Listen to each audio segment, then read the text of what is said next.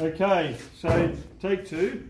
um, what I'm going to do is check the meter, make sure it works. On battery, we've got a good check and we've got a good reading. Next thing we're going to do is zero in the meter on ohms. So as I push down the meter, we have a look. We have zero, so I've zeroed in okay, no problems.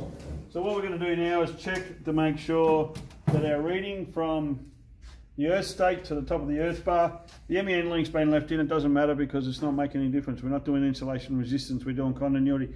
Continuity is based on the blue on the scale down here from 3 to 500 ohms. So I'm going to go from the earth stake up to the earth bar as well, and I've got zero. The minimum reading I should be getting is 0.5, no more. All right, under the under the testing, uh, one of the tests there, it says it shall not exceed 0.8 sorry, 0.5. The problem you got too, if you have a hot water service or a stove or anything hooked up, it could give you a very false reading that it could be under one, under 0.5 it might, because they read down to earth. Do you understand what I'm getting at? That would be more on insulation resistance, but what I'm getting at is, sometimes you'll get a dead short and funny readings when you've got stoves and things like that, especially on insulation resistance. So we'll, we'll see that in a minute when we go to the next couple of tests. So I've got that. The other one I'm going to do is my bonding conductor. So I'm going to go from the frame here to the earth bar and we get a low reading as well. All right. So we don't have a tap or anything out here. Um, the other thing is that um, people go to me oh, outside the case here, you go and test all your potential bonding and circuit earths as well. So all your earth coming in here, you would go out to the furthest point, come back to the earth bar. So I'd come out, test my furthest point, come back to here and make sure I've got zero ohms, okay?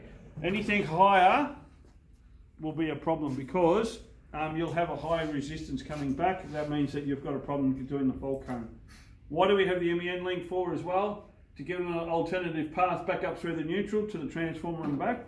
So it gives us a path back for the lowest current. All right, fault current, okay?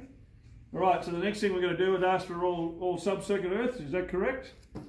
Yes, uh, we've done protective earthing conductors, we've done those. We shouldn't have more than 0.5 on those, all right? And the bonding conductor, which I did to ground here, was no more than 0.5 as well. So once we've done that, we're going to do insulation resistance test. The insulation resistance test means I need to go to 500 volts. Why 500? Because it's a 230 volt circuit. If it was a three phase motor or three phase board, we then test on 1000 volts DC. This is a 500 volt DC um, point we're putting through it. What's some of the most important things I should have removed out of the circuit? The MEN. Sorry? The MEN. The MEN pulled out as well. But what I'm saying is all electronics have to be removed. All right, so anything we're gonna do. So I'm going to pull the MEN link out. I'll grab my screwdriver. So this is a solid bar MEN link.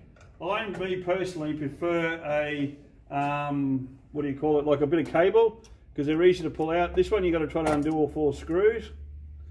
They become a little bit, um, what do you call it, pedantic to get out. Actually, I've taken all the screw out of that one. I'll just pull this out for a sec. So this is a solid link, and it's out now. It looks like that. These are mostly joined to join the neutrals together. So when you put a put them in here, they all protect